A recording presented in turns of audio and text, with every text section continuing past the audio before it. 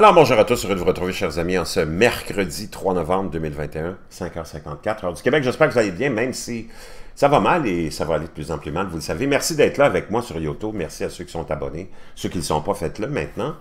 Merci à ceux qui m'envoient des messages aussi, des liens, toujours très pertinents et très réconfortants. Et euh, je vous avoue que j'essaie de lire tous les messages et de voir tous les liens euh, que vous me partagez. Et souvent, j'essaie aussi d'en parler. Parce qu'ils sont toujours très pertinents. Je n'ai pas le temps de tout faire, mais quand même, je vous remercie. Euh, je vous remercie infiniment. Ceci étant dit, chers amis, on est dans une époque, dans une époque qui n'est pas facile à traverser. Et elle va être de plus en plus difficile. On le sait ici, hein, Freedom News Network, on en parle souvent. J'en parle, vous le savez, vous êtes conscient de ça nos, beaux jours, notre bon temps est terminé. On va vivre probablement, puis on a commencé à vivre depuis 3 à 5 ans à peu près, des perturbations climatiques extraordinairement euh, catastrophiques. Et c'est pas fini. Il y a un cycle là-dedans, hein, euh, naturel, plus il y a probablement un phénomène anthropique aussi relié à notre activité industrielle depuis 250 ans.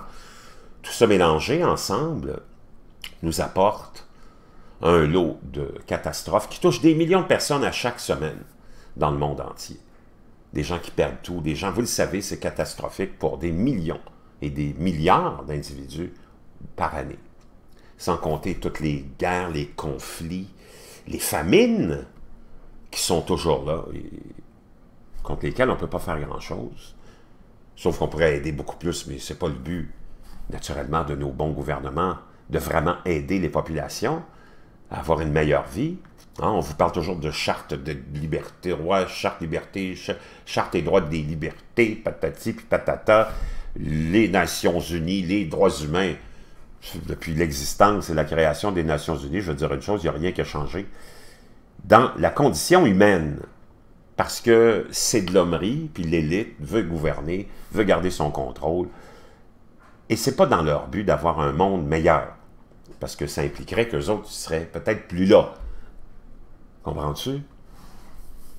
Ceci étant dit, donc tu as tous ces conflits qui continuent, qui perdurent, la famine, les changements climatiques, les changements politiques, on s'en va vers de plus en plus de contrôle, l'intelligence artificielle, la robotique, la biométrie s'installe au Québec, ça s'installe partout, je vous l'avais déjà euh, je vous en avais déjà fait mention. Tout ça s'aligne, est en train de s'aligner. On a comme objectif probablement 2030, on regarde partout les agendas de tout ce beau monde-là, c'est toujours 2030 qui revient. Maintenant, il y a une chose contre lesquelles et laquelle l'élite ne peut rien faire, c'est Dame Nature, c'est les cycles. Et là, ils sont pris avec ça et on ne sait plus comment danser, comment patiner. On essaye d'expliquer tous les changements climatiques euh, de tous les côtés de la bouche. Hein? On vous dit qu'il y a du réchauffement, mais ça se refroidit aussi en même temps.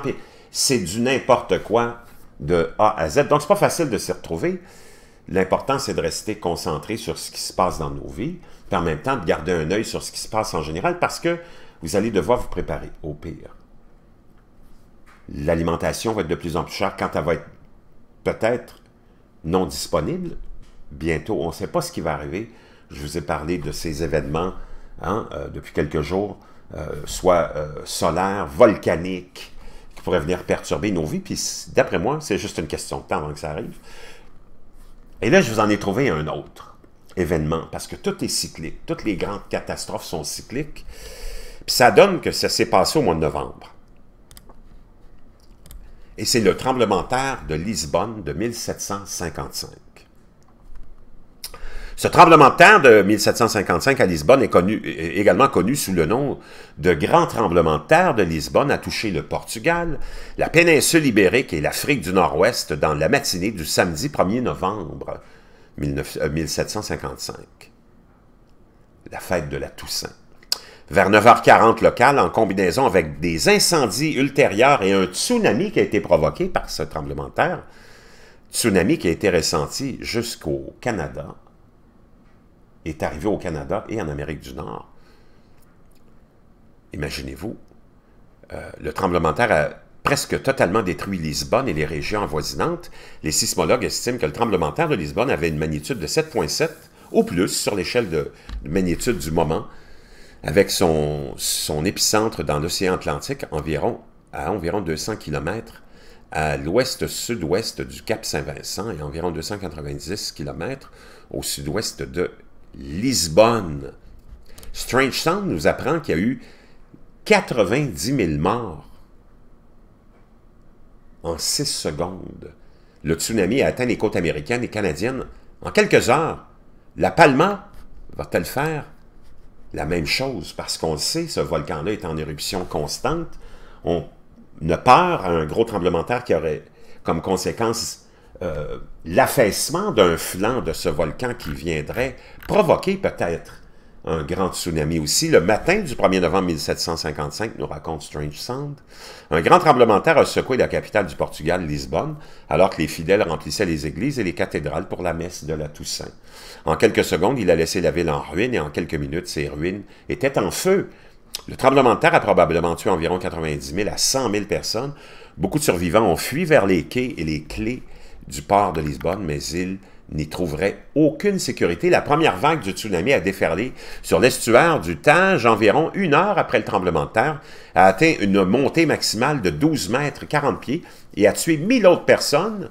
Au moins deux autres vagues de tsunami ont déferlé sur la ville, achevant la destruction du tremblement de terre. Dans la ville côtière portugaise de Lagos, le tsunami était encore plus important, peut-être 30 mètres, 100 pieds. Il a endommagé ensuite les ports de Cadix en Espagne, puis de Safi et Agadir au Maroc. Le tsunami s'est également propagé vers le nord. Il a causé des dégâts mineurs à Brest, en, Bretagne, des inondations en Angleterre, dans les îles de Scilly et en Cornouailles, et a inondé de manière intensive les zones basses de la ville de Cork en Irlande.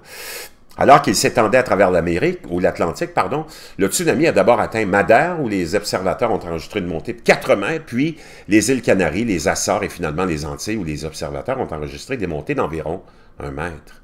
À la Barbade, à la Martinique, à la Guadeloupe et à Antigua. Bien que le tsunami ait dû frapper l'Amérique coloniale, personne ne euh, l'y a enregistré, bien qu'il a, qu'il ait été observé à Terre-Neuve, le modèle de tsunami suppose que sa source était un séisme de magnitude 8.5 sur la faille en fer à cheval au large du cap Finistère-Batista. Donc, chers amis, des similitudes avec la Palma. Comme vous le savez, le volcan Cumbre Vieja est actuellement en éruption sur l'île de la Palma, et c'est pas demain matin qu'il a l'air de vouloir s'arrêter, qui sont encore plus proches de la côte est américaine. Comme l'ont démontré diverses publications scientifiques, un glissement de cette montagne pourrait tuer des millions de personnes en Europe et le long de la côte est de l'Amérique du Nord. Certains scientifiques éminents avertissent que ce n'est qu'une question de temps jusqu'à ce que cela se produise. Et voici comment la vague de tsunami se propagerait. Il y a des imageries, je vous laisserai ça dans la boîte de description, ce lien-là. Voici comment le tsunami se développerait. Deux minutes, un dôme d'eau d'une épaisseur de 900 mètres s'élève au-dessus du glissement de terrain. Cinq minutes après, le dôme s'effondre à une hauteur de 500 mètres. Au fur et à mesure qu'il avance de 50 km, en outre, des vallées de vagues se forment.